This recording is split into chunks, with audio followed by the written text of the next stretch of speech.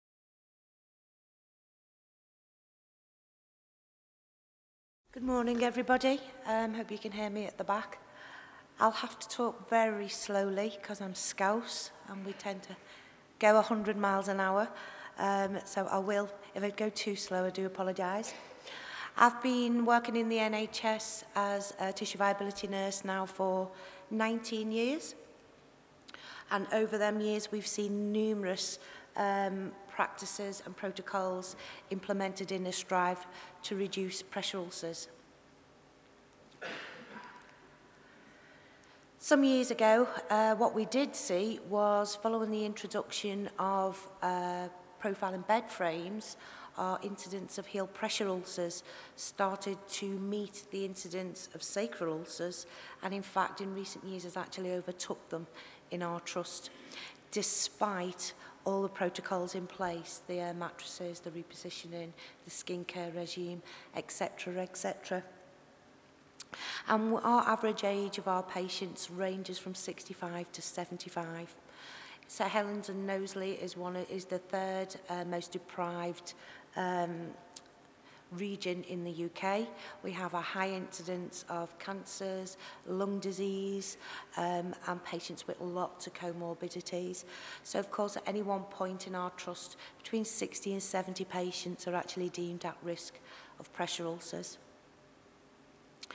Why is the heel more at risk? Well, I think the previous speakers have gone into that in some detail. Um, and really, the practices for preventing heel ulcers is relatively a new concept. Previously, we were seeing pressure ulcers from pressure. That is, patients lying in one place for too long. Very little thought was given to the superficial type of friction wounds. Um, and we didn't have a lot of armory or any tools to combat that. Um, so while we seem to have got the gist of reducing true pressure ulcers from pressure through protocols of repetitioning, good skincare, better equipment, profiling beds, low elast mattresses, etc., etc. Friction has been really a hidden part of, of, of pressure ulcer uh, prevention, in my opinion. as I say, year on year, we were seeing our heel incidence pressure ulcer increase. And these were pressure ulcers from friction and shear. These were grade 2 pressure ulcers, mainly blisters. And our protocol at that time, our only protocol we had for protecting heels along with the mattresses and repositioning, was to apply a film dressing to provide a barrier between the skin and whatever surface the patient was on. This is not an excellent picture, but it does give you, at the edges, you can see the problem we had. It wasn't effective at all. We were putting the film dressings on, and within hours, it was shearing off. Um, and usually that was because the patient was moving around the bed or digging the heels in. This is a picture taken from a paper written by Jackie Fletcher last year, which is really helpful. And what it demonstrates is, even without nursing intervention, Just the patient profile in the bed to sit up drags the heel by 11 centimetres across the surface of the bed. And we felt that that was the causative factors for our grade 2 pressure ulcers. Up until that point, we'd had an ineffective uh, regime of applying film dressings, which was costly, and it was also the drag effect of the film and the adhesives was caused was not helpful either. So there wasn't really any tool we had to prevent these blisterings other than patient education and appropriate use of the profile in beds.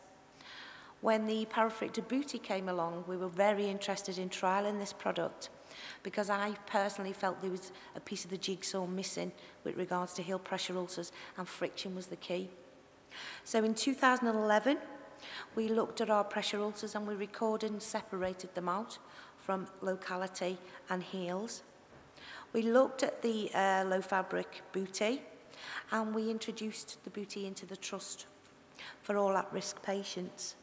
And that was a major undertaking. It was a brand new technology. It was another intervention nurses had to think about. And they had to look better at their patients. The risk assessment tools at the moment, very few look at friction and shear as a risk factor. It's always down to mobility. And as the previous speaker said, if their risk assessment is low, then that's end of. Very little skin assessments are done. The risk assessments are often done at the nurse's station. How do they know whether they're moving around in the bed, whether they're digging, digging their feet in? So the risk assessment tools I've found in my clinical experience don't help with friction-related blisters on the heels. One of the biggest incidents was in our orthopaedic unit and our biggest uh, incident was in fractured neck and femur patients who typically were using their good foot to push off the bed. So we introduced the booties in 2012. We did provide training at that point. In 2013, we looked at our training issues and um, if you're not aware, in the UK, tissue viability and pressure ulcer prevention is not mandatory for trusts. So we approached our director and nurse and said if we want to make a significant impact, we need to provide training. So we made training in tissue viability mandatory. So people have to attend one hour session um, once a year.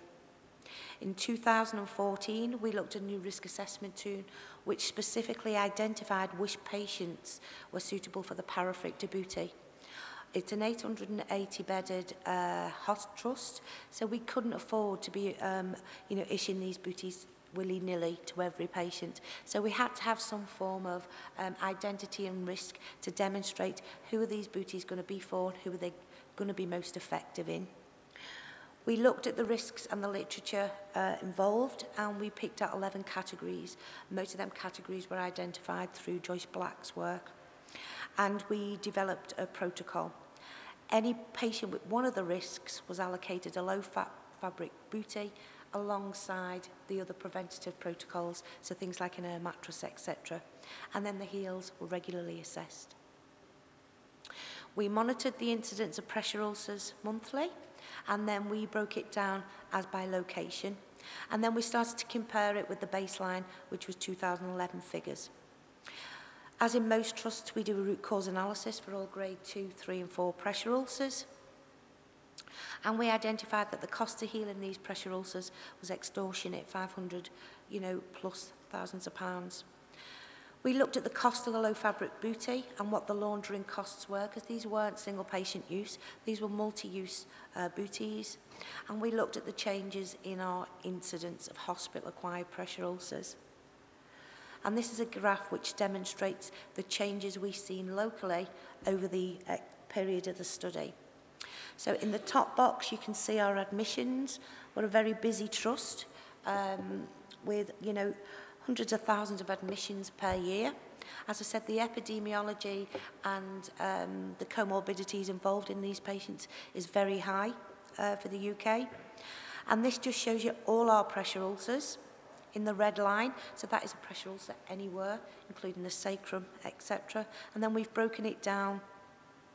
to just the heels, which is the red line.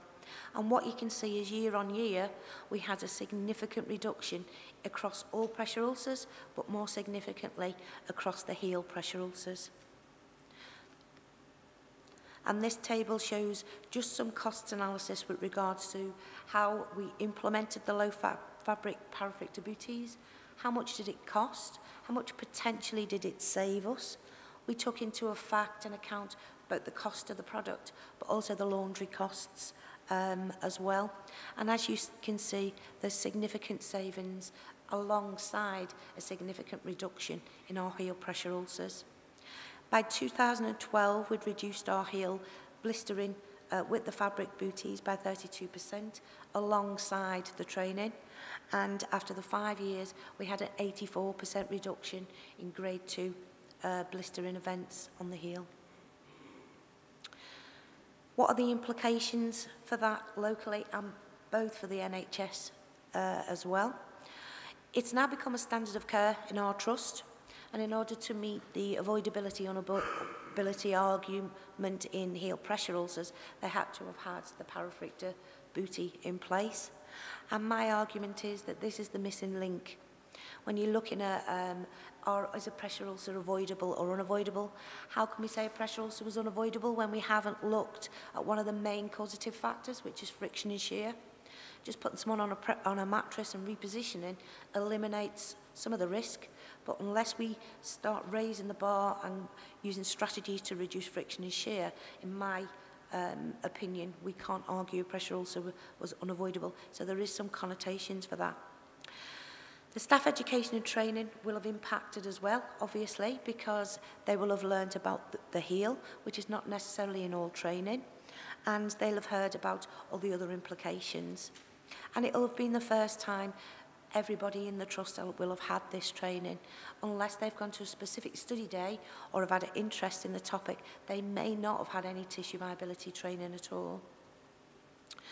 We had a major focus on heels. So previously where we were having RCAs around pressure ulcers, we were finding the skin checks were predominantly on the sacrum and the buttocks and the staff weren't checking the heels. That changed.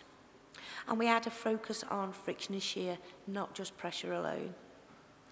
We had an inspection with CQC in 2016 and they picked up on the practice of trying to eliminate and providing a solution for friction um, and we were one of the first tissue viability teams to gain an outstanding practice um, in the comment section for our report.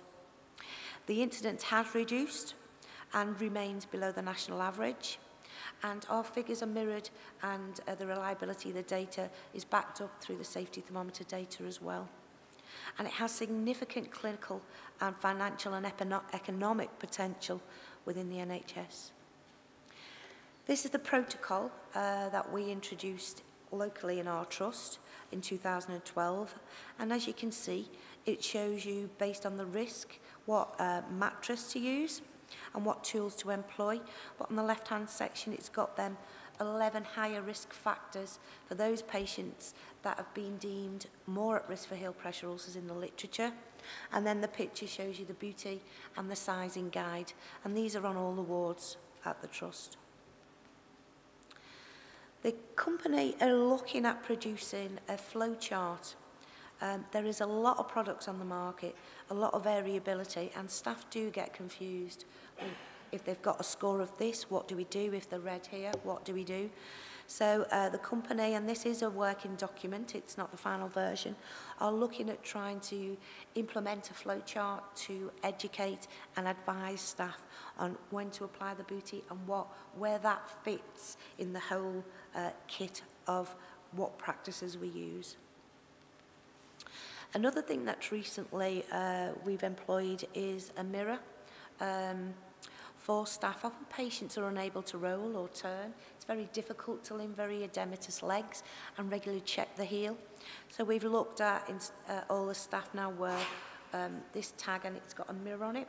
So they're able to, to look and see the patient's pressure areas as well.